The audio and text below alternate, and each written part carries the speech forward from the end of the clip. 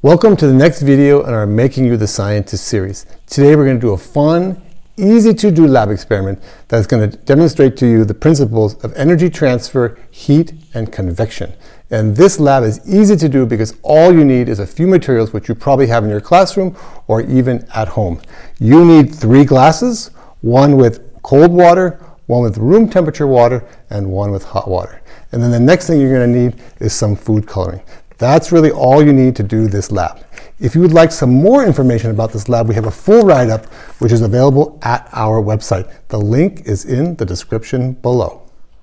Okay, now we're ready to do our experiment. And you can see here we have three glasses, one, two, and three. And the water temperature is different in each of the glasses. One of the glasses has cold water, one of the glasses has room temperature water and one of the glasses has hot water. Now I'm not going to tell you ahead of time which one is which.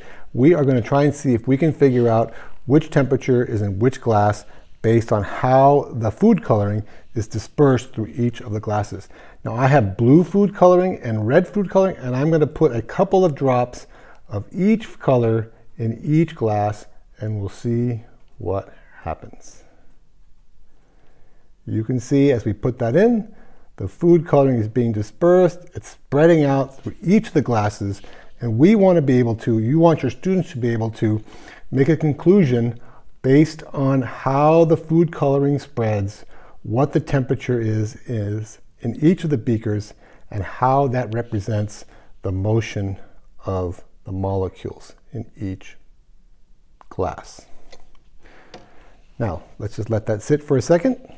All right, now we look at the results of our experiment and you can see in each glass the colors have spread differently. In this glass, the colors have not spread very much. In this glass, the colors have spread, dispersed, and mixed quite a bit with the water. And in this glass, it's basically right in the middle. And that shows us that in this glass, the water molecules are not moving very quickly. This is our cold water. In this glass, the molecules are moving a little bit because this is our warm water. And in this glass, the water molecules are moving very quickly relative to the other two glasses. And you can see that because this is the highest temperature and this is the glass in which the colors have dispersed and mixed the most. Thank you very much for watching. I hope you enjoyed that lab activity. I know that my students always enjoy doing that in class. It's a great way to introduce one of the three energy transfer methods. Of course, this was convection.